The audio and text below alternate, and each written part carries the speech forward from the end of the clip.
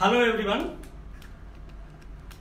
You are all welcome to lecture number 835 and today's topic is the industrial manufacture of power alcohol or commonly we can call ethyl alcohol from starchy material like potato and when I say starchy material means it is having formula C10 H22O11 outside bracket N means millions of this unit they join together and once it is formed the complex molecule that is called starch and if it is more complex then it is called cellulose.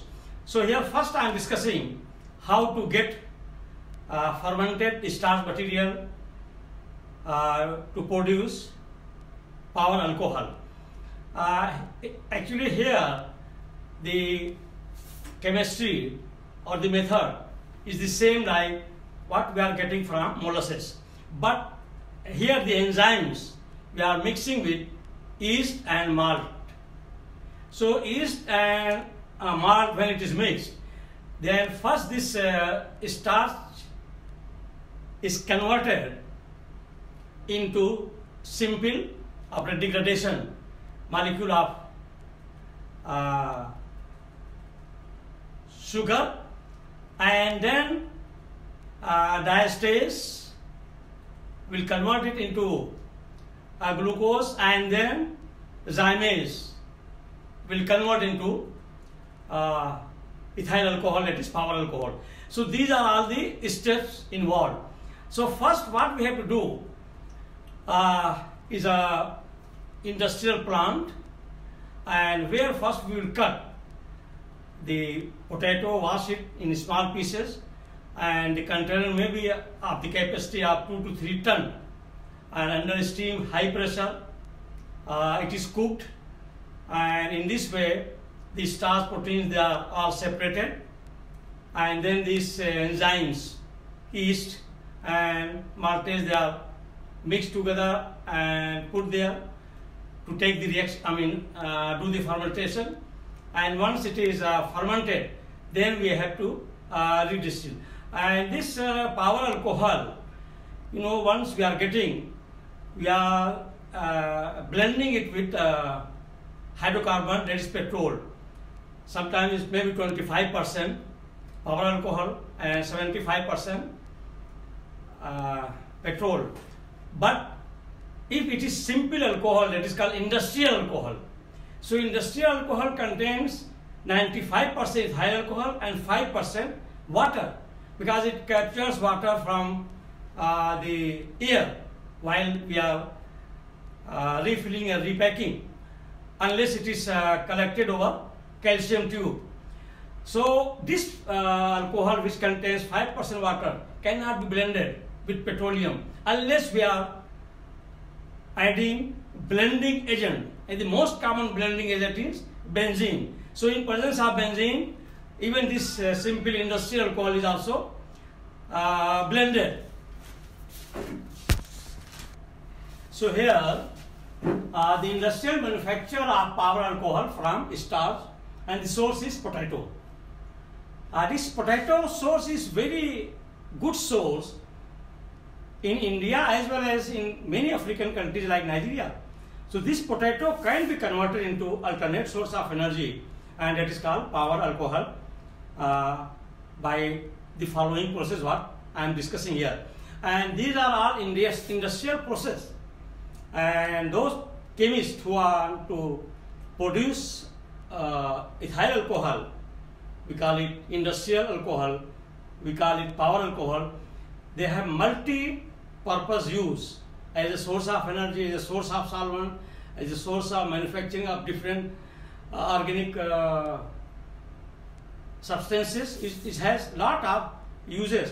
Uh, it's very good uh, business to uh, convert starch into ethyl alcohol, molasses into ethyl alcohol and from grains also like uh, maize, like barley can be converted.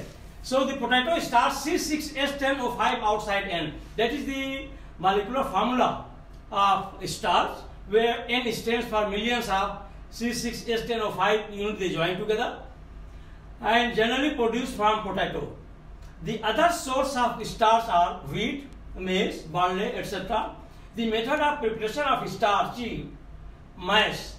Starchy mash means one that starch is diluted, that is called mash, is by degradation. Degradation is the method of breaking down complex molecule of starch into simpler one. Maybe millions into disaccharide and then disaccharide into monosaccharide. That is called degradation. Uh, step uh, uh, leading finally to get power alcohol. Number two, the starch solution is mixed with malt. So here, this when we have prepared the starch solution, it's not only with yeast it will work. We have to mix malt and yeast both, which will produce the enzymes. So these two yeasts and a malt, they will produce three type of enzymes, and these enzymes are first one is diastase. So this diastase will uh, we can say broken down complex starchy molecule into that is your maltose disaccharide C12H22O11 and maltose is the combination of two molecules of glucose that is disaccharide. And then this uh, disaccharide means maltase. On this uh, maltase will act and it will be converted into two molecules of glucose and finally that glucose is uh, treated with zymase, that enzyme, and zymase will convert glucose into ethyl alcohol and carbon dioxide. So here, for potato starch fermentation, uh, malt and yeast yeast is used to get three type of enzymes, diastase, maltase and zymase.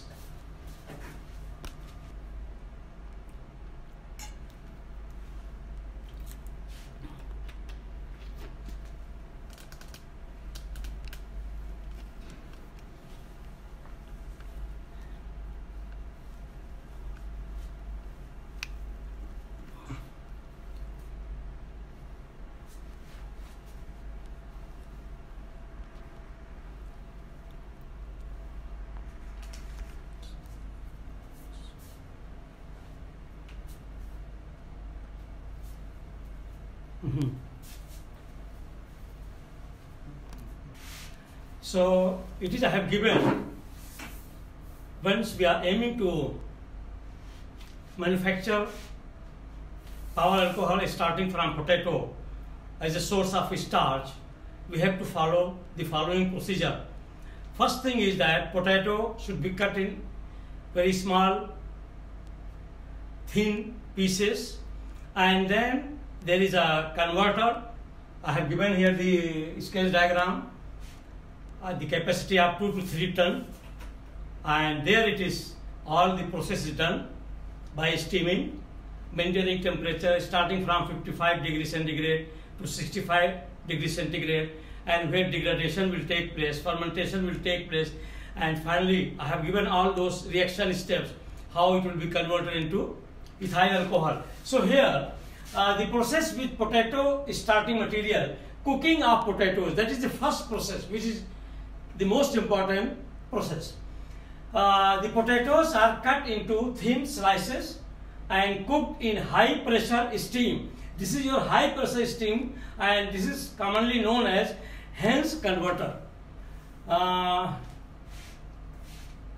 steam pressure to form gelatinized uh, starchy mass so with this high steam pressure, you will get in gelatinous, gelatin type of mass and that is called starch mass and this starch mass is now ready after that uh, cooking under high pressure steam. And the cooking is usually carried out in Henze converter and that is your Henze converter and the mass is introduced at 55 degree temperature. So here the capacity is 3 uh, turns and here steam is passed and here is the steam goes and blow off if any extra and drainage scope. So all control measures are there with all those scope and it is under very high steam pressure. So one has to be very careful in handling uh, this Henze converter. So at 55 degrees centigrade temperature, it is kept for 15 minutes and in this way it will form the gelatinous mass. Uh, during this period, the 70% starch is converted into maltose and 30% into dextrin. The temperature is then raised to 65 degrees centigrade temperature and that temperature is kept for one hour. So with this one hour time, uh, the degradation, the breaking down of complex gelatinous mass into disaccharide and monosaccharide will take place, that is called degradation, will take place and yeast cells will start fermentation, they will be multiplying very fast and the fermentation process will start. After complete conversion, the mass is taken into the tanks uh, with uh, slotted bottoms.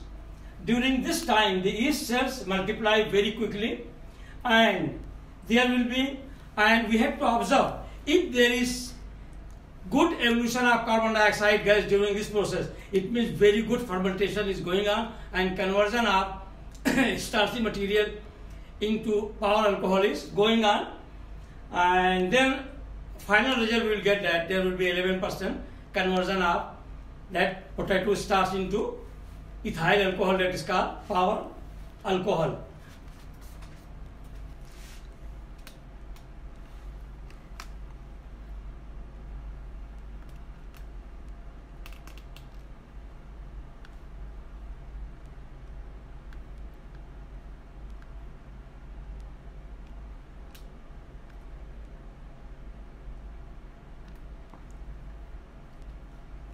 So after this fermentation process, uh, the reaction mixture will be containing 11% ethyl alcohol.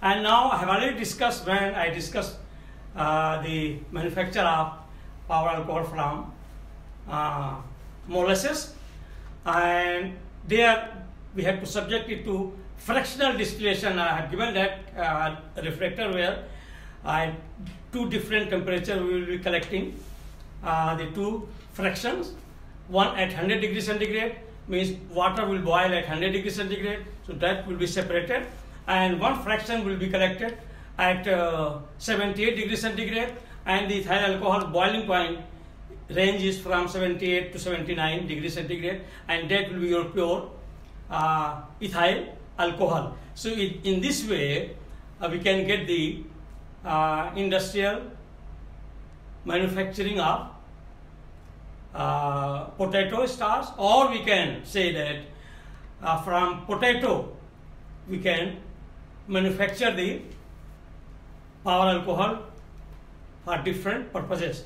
So I wish that all the young chemists they should listen this lecture and I am going to discuss some more methods how to prepare this alternate source of energy that is power alcohol with different sources. So with this I will stop.